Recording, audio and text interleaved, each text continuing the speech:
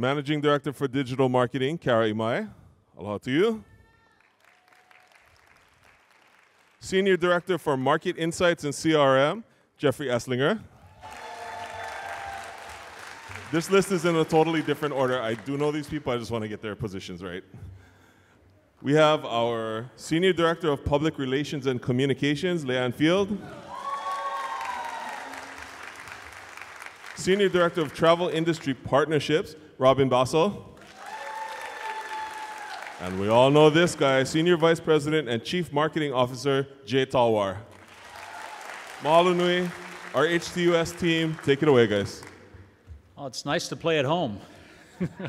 Got the home field advantage. Um, we have a lot of information and uh, a few members of our team here. The rest of our team is in the audience, and uh, we just ask that um, you ask us all questions afterwards because we're not going to go into the depth that we typically do uh, because we're up against lunch. Uh, so we're going to rip through some information, um, hopefully get your attention, uh, get some questions, and let's talk about how we collaborate even more than we have in the past. So, jumping right into it, um, we're going to kind of get into the subject matter experts and let them present their sections. Um, and so, I'm just going to start with kind of an overview. Uh, and before we start looking forward, looking backwards all the way two weeks ago, um, where we were able to do something um, thanks to the Hawaii Tourism Authority and their ability to provide us with a million and a half in funding uh, very quickly. Uh, we were in the market in less than four weeks. Um, and we were able to more than triple that amount thanks to everyone in this room who helped contribute. You know, close to 90 partners involved, uh, more than triple the funding uh, from the private side uh, was contributed. And it's going to be even greater because a lot of that will be now seen as bookings occur and discounts are applied, and the contribution from the private side is going to even grow even more. So overall, we have down the bottom, you see the logos, we had media running for the month. Uh, September 4th through the end of the month, that really gave us nice cover and shared the brand messages that we'll share later uh, with Los Angeles specifically. Um, beyond that, uh, the partnership included many other Marriott, the Hawaiian, and others doing events in the marketplace, talking to travel sellers, talking to consumers, talking to the group side of, of things, just making sure that we were totally focused on LA and LA was totally focused on Hawaii. So a real nice contribution from the private side. Uh, we had consumer direct co-op programs uh, that ranged from uh, fairly expensive partnerships uh, that got about $400,000 from the private industry just in that one uh, line item alone. Uh, but then also about 153 offers from members and participants in the travel and tourism industry across the state. So a focus on Maui, uh, but still offers from across the state. So a lot of great partnership offers are out in the marketplace, and we're going to continue to promote those uh, through at least October and maybe longer we'll see at the next HTA board meeting. Um, and then we had a long-term partnership discussion with the LA Rams. Uh, Chair Hannemann uh, really coordinated uh, an august group of elected officials to meet with the Rams ownership team to talk about how they may be able to uplift uh, Maui post-wildfires uh, with a long-term relationship that he will be able to talk more about, I'm sure, soon, because it went extremely well. Uh, the rest that you see on there has to do with both our coordinated public relations media blitz and a little event we did with in partnership with Mana Up And Lei, why don't you take it from there? Sounds good. Yes, we just returned from a great media blitz in Los Angeles where we met with media representing uh, the publications that you see on the screen here. As many of you know, the landscape has changed dramatically since COVID. We are no longer going to the LA Times office for a desk side appointment. We are now driving and meeting Chris Reynolds at his favorite French coffee shop 10 minutes away from where he lives because he's working remotely. But we are adapting, but the goal remains the same to connect with media, share broad destination updates, and tee it up for partners who are going to be in market in the following weeks. We actually have one Maui partner that's there right now.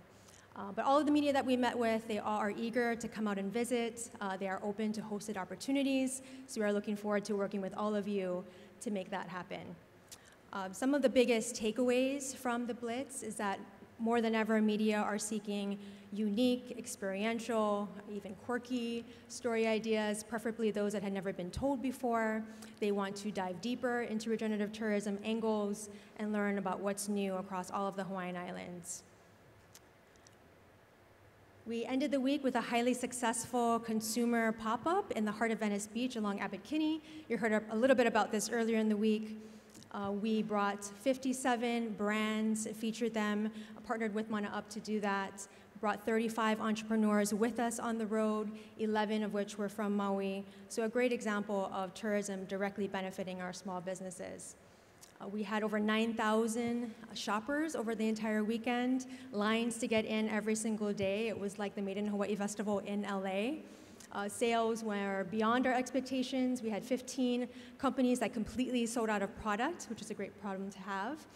But equally as important were the person to person interactions that were made throughout the three days that we were there the people from Maui and the Hawaiian Islands sharing their stories and their products and their passions, uh, in their own words, why it's important to come to visit us now. And that was just so powerful to see.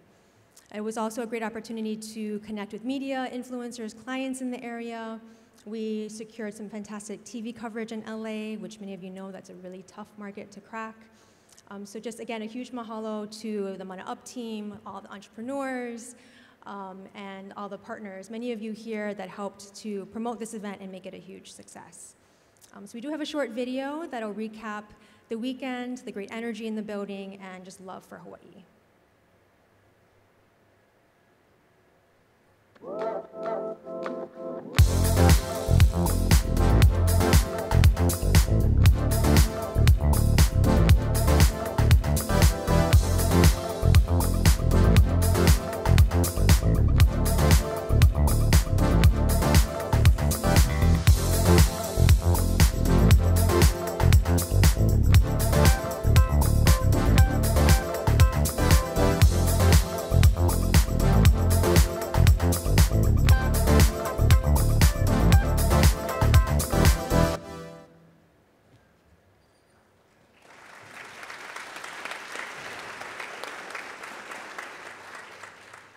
Aloha. I'm just going to talk a little bit about um, insights, uh, where we are in the market, and, and some uh, future looking information. And, um, you know, it's really important, you know, the GDP is, has, is growing a little bit faster this year. Unfortunately, next year, I think it's going to slow down a bit. Um, another key thing the US MMA, the US market, will remain and continue to be the largest um, source market for Hawaii tourism you know, trans-Pacific airlift, specifically from the U.S., continues to be dynamic for all the different reasons that we heard today. We're also seeing a shift, more um, flights directly into Honolulu, and then disbursement to the neighbor islands via um, the code share relationships um, that the airlines have um, with Hawaiian as well as the Southwest Lift. Um, Maui um, will continue to see softness in visitation, as the governor mentioned today, as well as others. That will continue, and we are, through the activation that Lei and Jay just spoke about, looking to make sure that we rebuild our key origin markets to help support the growth for the Maui um, market from the California region in particular into the next year. And then the hotel booking pace, you know, um, I'll get into some details in the slides in a second, but the hotel booking pace remains dynamic. Certain markets, uh, the pace looks um, great. Certain markets, we're seeing softness, and other markets, we're seeing variability, even from one week to the next, the um, unevenness of uh, forward looking bookings by island. And then um, these are some data. This is data that uh, Jen and her team just put out, the August um, uh, results. And, you know, while the visitor arrivals from the US declined, spending per person per day increased, so that led to a smaller decline in the overall expenditures for the first eight months of the year.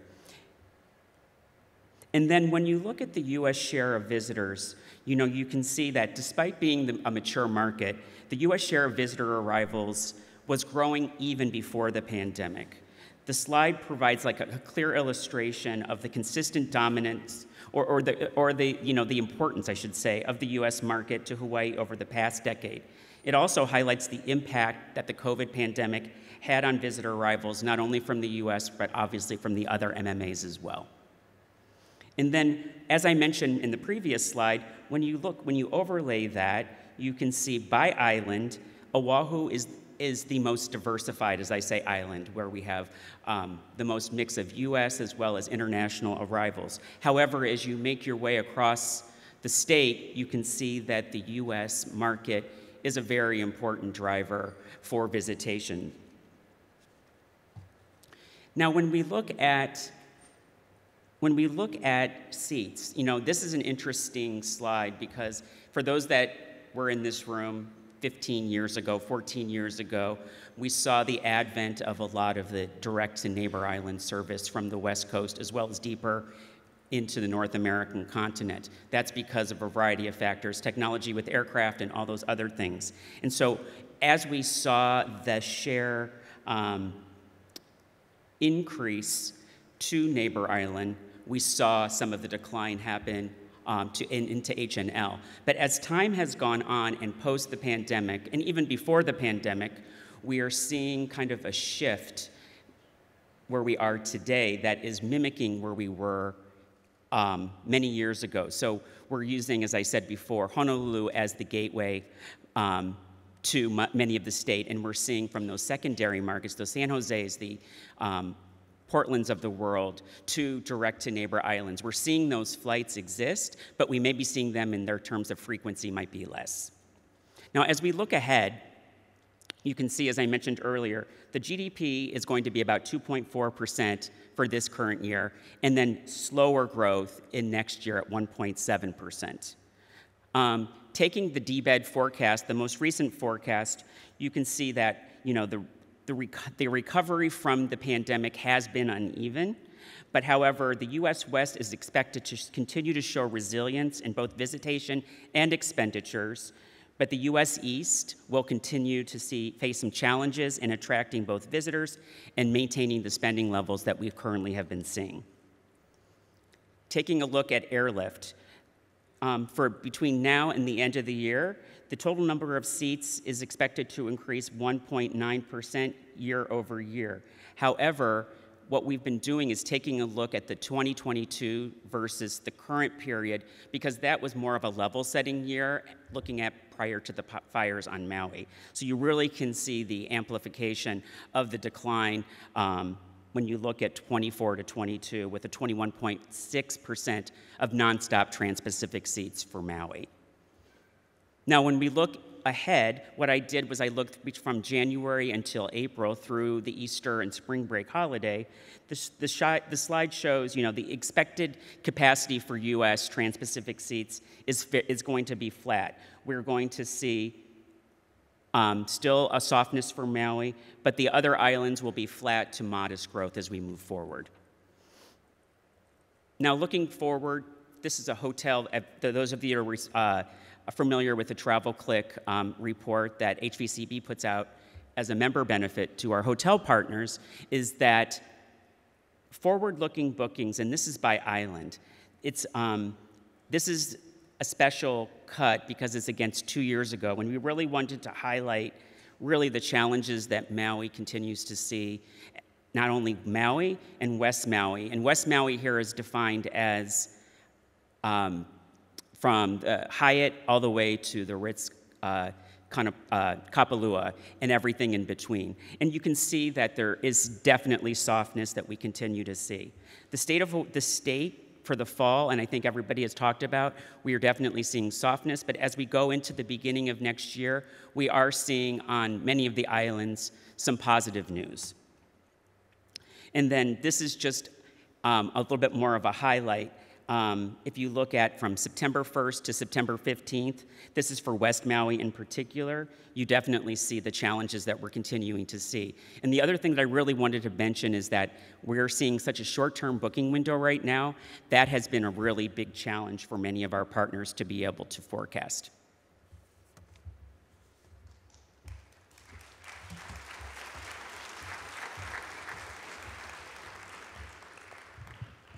So a bit of a challenging environment. Um, and now we're going to switch into our marketing programs, looking at our audience first and foremost. Again, mahalo for the presentation on the American Traveler.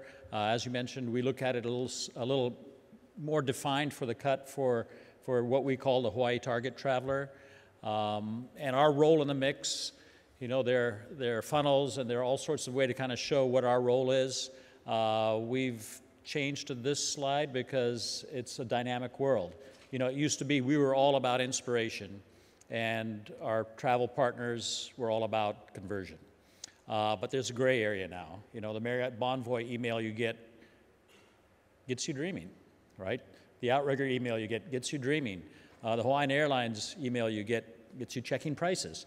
Um, so there's a lot of inspiration, a lot of dreaming, a lot of planning that happens uh, across both of our kind of former areas. So we need to make sure we're coordinated uh, that's why this event is great. That's why it's so nice working so closely with everyone so we can make sure our messaging is consistent and so it all adds up together and really makes a difference as we look to move people around the continuum. The other thing I'd share is this is all about our audience that we're targeting. Uh, but in the middle of it, probably what's missing is the face of our resident. You know, as we do this, the host to all of our visitors is something we need to consider. And so we've added that into our target audience. You know, um, all of our employees are part of the community, are part of the resident population. You know, there shouldn't be a division there, so we need to listen to our community, I think, first and foremost, to make sure the visitor industry is supporting their needs, uh, and then we can focus a little bit more on the type of visitor we want to attract, uh, both from a spending level and a behavioral level. And the more we can do that, the more focused we can be. Uh, as someone mentioned earlier, uh, the better the resident population feels about tourism, the better experience the visitors will have. So we do a lot of work into that. We're starting a new project to relook at all the data we've been using the last few years because it's such a dynamic world. Um, and so we're just, I'm just challenging Jeffrey with another research project. Uh, but getting to the messaging, um, I think uh, most of you have probably seen the new campaign that's now been running uh, since the end of spring um, and really looking at a transition to making sure we share the natural beauty that we see as a high ranking uh, motivator for the traveler, uh, but using that more as the backdrop and allowing our people to be in the forefront and sharing our values, uh, sharing what's important to us as residents, and having visitors who are picking Spain and Portugal and Italy uh, for that culture to understand that we have a unique culture that's worth traveling for and worth engaging with and worth learning from. So we are putting the people at the front, and I'm just going to show you a few spots now. Uh, so go ahead and sit back, pretend you're on the sofa at home, and we'll play the videos. When people hear my music, I would like them to ask a question. Why do I feel this way when I hear Hawaiian music, even if I don't understand what is being said. Our spoken language was on the brink of extinction because it was outlawed. It was the singers who kept the language alive. I grew up in Anahola, Kauai.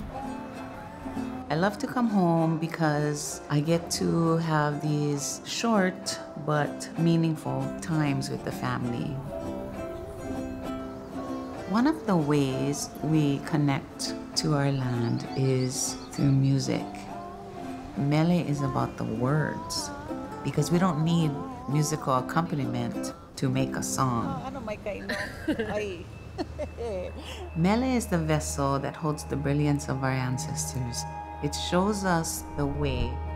Um, the music within our church, Keakuamana Church, came from the soul.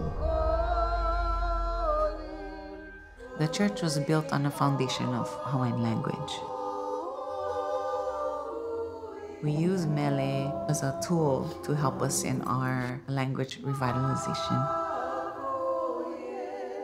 When the singers sing with all their might, you know that it's powerful. My mother is Lady Ipo Kahon She was part of the Hawaiian music renaissance era. If it wasn't for them, we wouldn't have the continuation of Hawaiian music. Aloha no! If I'm going to perform, it's because I have something to tell you. It's the way we continue the legacies of our place. I would love for our visitors to take music with them that reminds them of a certain place, of a certain experience they've had in Hawaii, and know that there's much more to enjoy. With my daughter coming into the mix now, we can show our elders that we are continuing our legacy of Hawaiian music. The goal is joy. The goal is connection. Not everybody sings, but everybody can learn the words.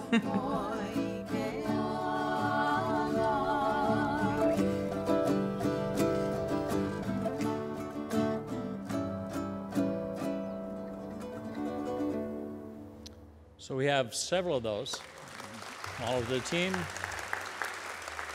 And those live on YouTube. It's almost like we've been looking at the research uh, because that's where our audience goes for destination decision making and inspiration and dreaming.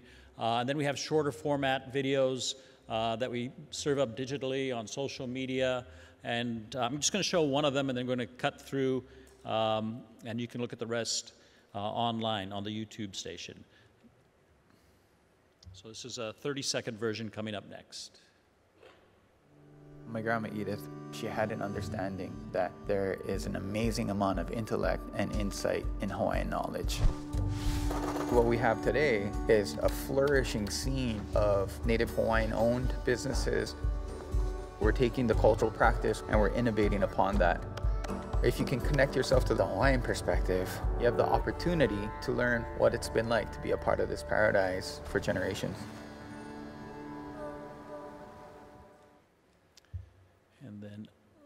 The essence of time, I'm going to keep moving and hand it off to Kara Imai to talk about the social media assets and program. Is this on? Oh, yeah, it is. Um, aloha. So Jay talked a little bit about who we're speaking to and what we're telling them uh, through our messaging. And I'm going to talk about how we're getting the message out to them through media.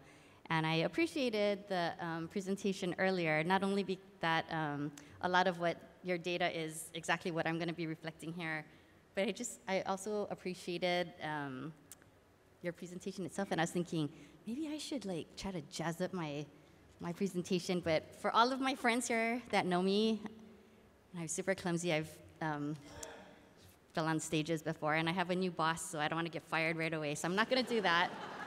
I'm just going to go straight into the presentation. And so, um, all of you here, social media, as you know, is such an influential part of um, our travel making decisions, of our everyday, like just in our everyday. And this um, slide that I want to share it's a complicated, messy slide, but uh, we use this type of data to make sure that for our Hawaii target traveler, the people that we want to speak to, we want to know how they're using social media. Because in all of our efforts every day through our um, you know, content production, through our media placement, we want to make sure that we're speaking to the right people in the right channels. So for example, um, you'll see that Facebook um, is trending a little lower than it had in the past, and then um, reflecting the, the earlier presentation, TikTok and Instagram is really where people are finding that travel inspiration and influence. And then um, a little deeper in, we like to look at how they're actually interacting with the content. So what types of units are resonating with them? What are they clicking on? What are they sharing? And so we want to make sure that we're there in the right format, whether it be video or reels or you know whatever the the latest um, creative unit is being um, interacted with with our target audience. And so here, I mean, earlier Jay was to present the um, Kyle video, so I picked this um, example for our social, um, um, social example. And what we did was, and what we're to be doing in 2025 is why I'm sharing this, is we take the video that the MVMP team helps us create so beautifully, And then we look at social first opportunities. How do we get that message out in appropriate way in social media? So we, while we do also have the videos presented in social, we have other units such as these where we can dive deeper into the story. Uh, for each one of the four ambassadors that are featured in our um, The People of the Place um, campaign, I think there's like three or four different executions. One of them is we ask each of them to get a map of their island and um, do a pinpoint of all of their favorite places on their island. And so that way the viewer can be inspired to explore the, the different islands themselves. And then this is showing, in addition to the People of the Place campaign, we also do other content just to emotionally connect people when they're scrolling through their feed. So they're scrolling through and they're seeing something like this and like, ah, oh wait, I gotta, I gotta check that out more. And so this is the um, type that we're looking at developing more as well in 2025. Which brings us to, oh, I wanted to mention that a whole bunch of us work on these social campaigns, but um, our director of social media, Marissa Wang, is the person who leads up all of these social efforts and responsible for this great work.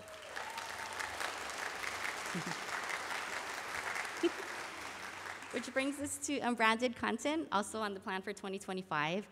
Um, branded content is just partnerships with um, media outlets that have a similar brand affinity as our, what we're trying to do with the Hawaiian Islands. They have the target audience that we're trying to go after. Uh, some people call it native media. But in this, this past year, these just actually launched in September. Uh, we partnered with uh, Condé Nast Traveler, and they worked with our team to tell the story of Maui through um, different ambassadors. And what we did was we, they um, delivered, we worked with their content team to tell it in their voice. So if you have a natural affinity for, um, you know, interacting with Condé Nast content and you trust that and you like that, you're seeing our message through their, their channels. So in this promotion, there's like a, I think a 12 or 13 minute video, 30 second videos, and social media posts. Um, and I'm not going to go through all of them in the interest of time. But I wanted to um, share what we did with Matador, another partner that we worked with. And um, I'll play this video. This is just a 30 second, like a a short 10, 30 second clip. But before um, I play this, I just wanted to recognize Susie Kim, who's our Director of Content Development, hiding right there, as she really worked on all of these campaigns and brought these to life as well. For me, aloha is uh, it's a reciprocal relationship that you have. So mindful travelers, they come with this notion of I'm coming to give and learn. And so when you come to experience Hawaii, you come with your best too. And we love that, that reciprocity of aloha. That's real. Moving on to public relations, the team, including our Island Visitor Bureau PR teams, our goal is positive generated destination coverage um, in our target uh, uh, outlets. Let me move on to the next slide here. Um, we will soon be undergoing our annual Hot 100 review where we look at all of our target outlets. Uh, we will be focusing on more regional publications in our key markets for next year. We will continue to keep Maui top of mind, and as we learned from our recent media blitz, our superpower will really be highlighting the people and the organizations across the Hawaiian Islands that are doing amazing things and make our destination unlike no other. Uh, in terms of messaging, we are presenting a stronger invitation to visit while still portraying our values. And how we're doing that is showcasing unique visitor experiences, regenerative tourism experiences, um, as well as providing a platform for those who are portraying Hawaiian and local culture, um, having them share in their own words why we welcome visitors. Program highlights for 2025 include IMM, or International Media Marketplace. This is the largest travel media event in the US. They bring together over 500 writers um, together in one place. We found great success in this show this past year, so we are expanding our Hawaii presence next year. Uh, there is still time to register, so if anyone's interested, you can come and find me. I'm happy to share more about that program. There is still plenty of opportunity in California, so we do plan on additional media appointments throughout the state in conjunction with travel trade, which Robin will speak to in a moment. And with media, again, working remotely all across the continent, uh, we are still finding great success in virtual media blitzes. Our team, and shout out to Anthology Finn Partners for their great work, they just conducted a statewide week long blitz where they met with 32 media one on one every day, showcasing a different island with great ambassadors like the one and only Daryl Fujiwara from Maui. And finally, we know, like David mentioned in his presentation, that video is so powerful in inspiring travel. So a priority for us is high impact broadcast coverage. We are working with NBC for a show that'll highlight West Maui, and that's going to be coming out in January. All right. Bringing it home here, mahalo Lei. Um, uh, you know, travel trade, I'm going to share a little bit of the highlights of our 2025 um, strategy, of course, in line with uh, consumer PR, et cetera. And for travel trade, it's all about relationships. We have incredible relationships with our partners. So it's really leveraging those long term, very strategic partnerships with wholesalers, consortia, industry organizations to ensure we can deliver the right message. That message that, you know, we want to keep Maui and all the Hawaiian Islands top of mind. We want to make sure we're reaching qualified advisors, and then, of course, their clients as well, that mindful, high value traveler. The foundation of everything we do and continue to do is all about education. That's really, really important. And to be efficient, we really like to use a blend of virtual and in person training. Um, we just had a webinar a couple of weeks ago with our partners at Travel Weekly. We had over 2,300 travel advisors register for that webinar. So that was incredibly successful. We'll continue with in person events as well. We're getting ready in two weeks to head to Southern California with 20 of our partners, so thank you so much for all of your support um, to educate those travel advisors. Um, and for 2025, of course, we'll continue to do that in key markets. We work very closely with Jeffrey and Market Insights to make sure we're in the right markets at the right time with the right message. Um, so we're going to be doing two weeks um, West Coast in February and East Coast um, will be in October. We'll bring our wonderful uh, um, ambassadors. We had Kainani, um, the musician featured in the video on our last um, our last Blitz. So we really want to bring the destination of Hawaii to travel advisors and let them know that again, Maui and all of the Hawaiian Islands are open and welcoming visitors. We'll continue to support our partner events, our wholesale consortia and industry partners that make sense, that give us meaningful engagement with vetted advisors, one-on-one appointments, that platform for educational opportunities. We want to make sure we, we get in front of those advisors. And in destination education, so critically important. Um, we've run a couple of FAMs, a shout out to Kainoa Danes, who've led a couple multi-island um, FAMs this past year, and incredible feedback from advisors on, you know, basically saying, now that I saw Maui, you know, firsthand, I have no I have all the confidence in the world, no reservations with selling it. So I think those have been wonderful. We'll continue with our HTUSA multi-island led FAMs. Um, we want to continue, of course, to support Maui, but we also want to support the strategy of multi-island visitation. We'll also support, support our partner FAMs. Um, we've got wonderful partners that come in to bring their travel advisors, their business development managers, reservation agents. We'll continue to support those with destination experiences and destination education to really round out that experience.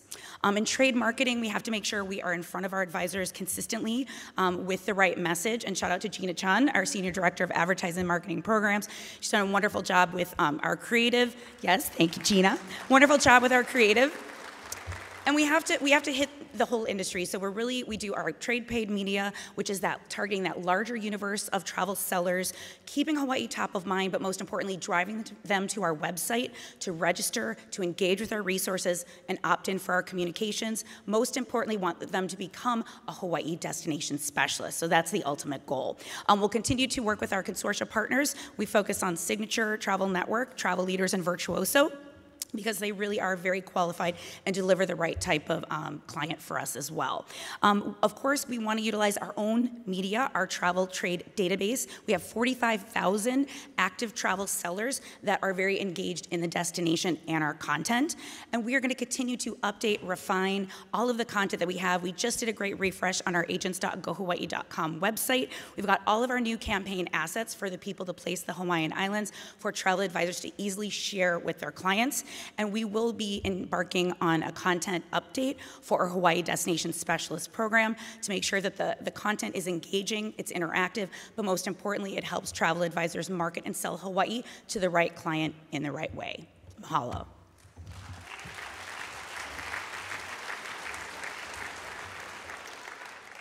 And I think just to, to underline one thing, uh, kind of the, the hidden part of this iceberg of all the work we do is uh, a couple pillars, I guess. One is our destination education team, Kainoa and Jerome.